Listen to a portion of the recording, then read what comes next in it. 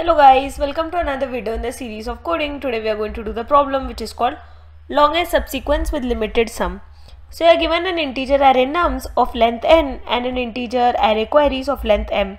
You have to return an array answer of length m where answer of i is the maximum size of a subsequence that you can take from nums such that the sum of its element is less than or equal to queries of i. Let's try to take an example to understand this. Suppose you are given nums of i is equal to these elements and then you are given some queries. Corresponding to each of the query you have to return answer.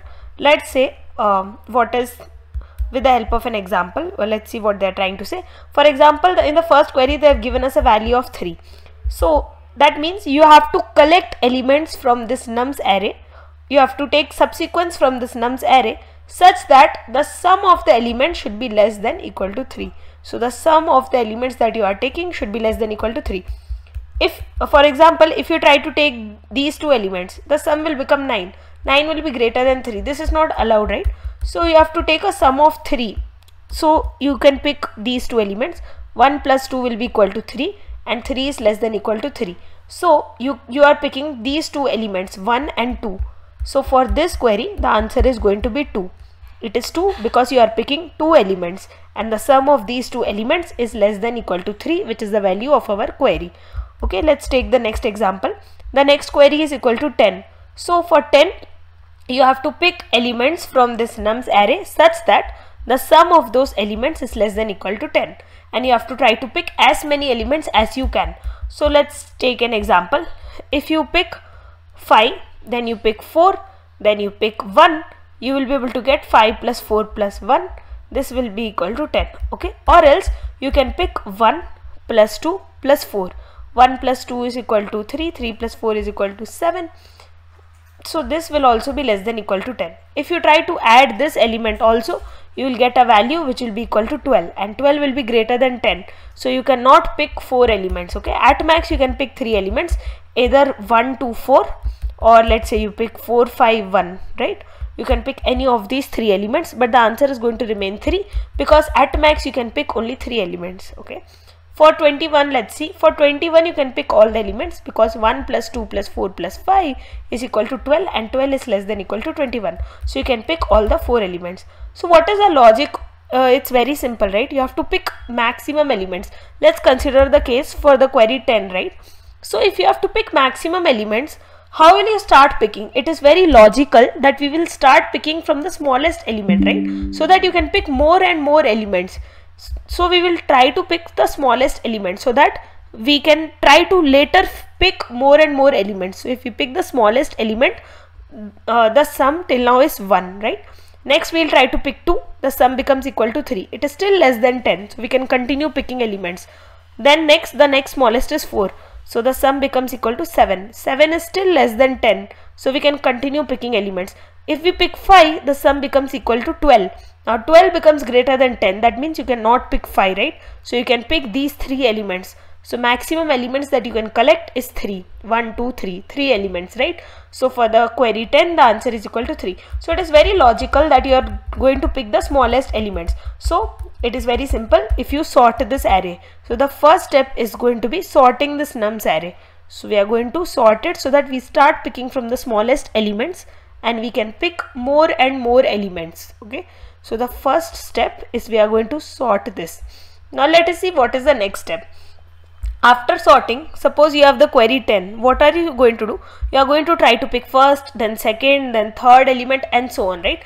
If you do this, for uh, finding out when the sum is going to exceed 10, right? You will have to iterate over all the elements of the nums array again from beginning to end, right? So the time complexity of that will be order of n to find out when the sum exceeds 10 what you are going to do? In the brute force approach you will first pick 1 then 2 then 4 if you try picking 5 the sum will exceed so you will not pick. But the time complexity of this will be order of n. So what you can do instead of doing this after sorting the second step you can do is in just order of 1 you can find out how many elements you have to take for sum less than equal to 10 how can we do that? By doing by declaring something called as a prefix array right? So what we will do?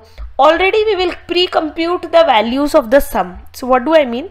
So initially the sum is 1 right? So the prefix array sum will be 1 now 1 plus 2 is equal to 3 so corresponding to this i will store 3 now 3 plus 4 is equal to 7 so here I will store 7 7 plus 5 is equal to 12 here I will store 12 okay?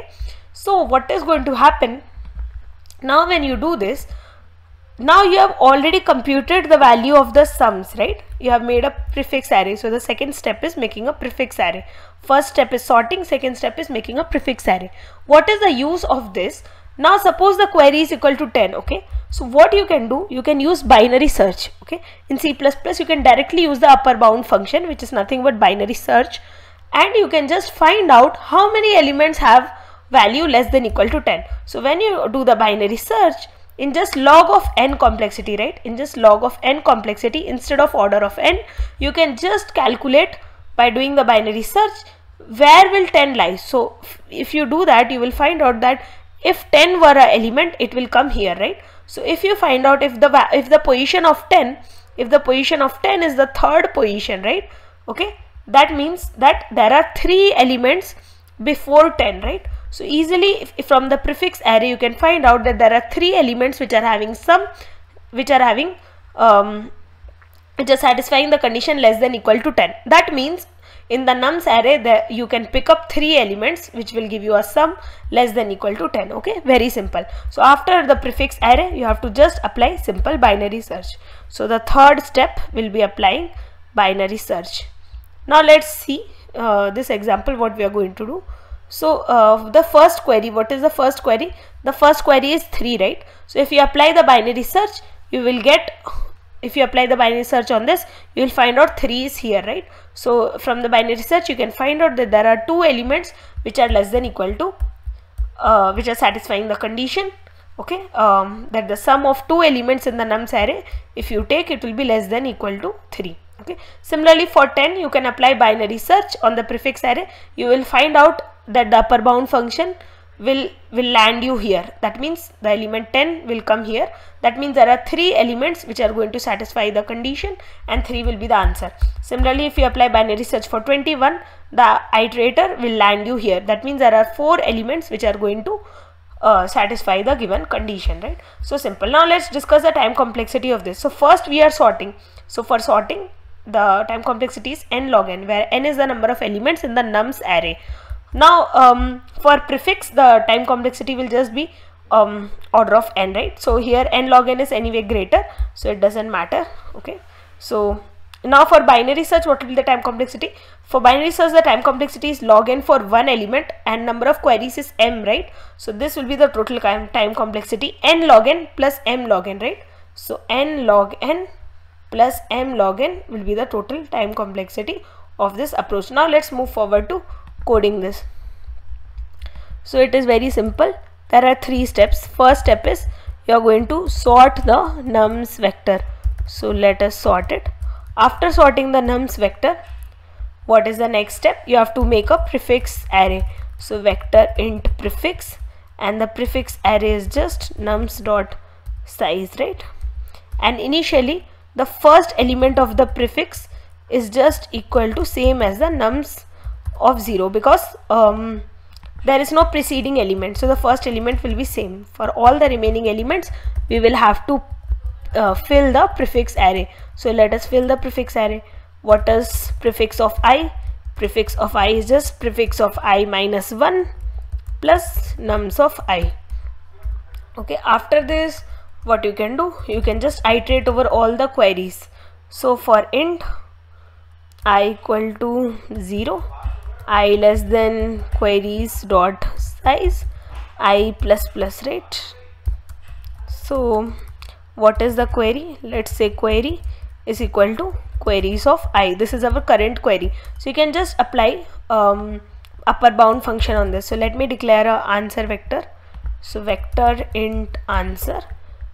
So what you're going to do? You can apply the upper bound function. Using the upper bound function you can just find out from the prefix array. So where are you applying the upper bound function? On the entire prefix array. So from the beginning to the end. And on which element are you applying? On the query we are applying the upper bound function right? This will return the position of the iterator okay? So it will tell you where the element which you are searching in the query where that element will land up. If from this you subtract the beginning iterator you will get the position of or the number of elements that you need. So this is what you have to push in the answer vector. So that's it. And after this you can return the answer. So let us give the condition return answer and hopefully this should work. So uh, just one thing. Here I have started i equal to 0 I should start from i equal to 1 because already we have declared for the zeroth element right? So now let's run the code and see. It's working. Let's submit and see it's accepted. Thank you for being patient and listening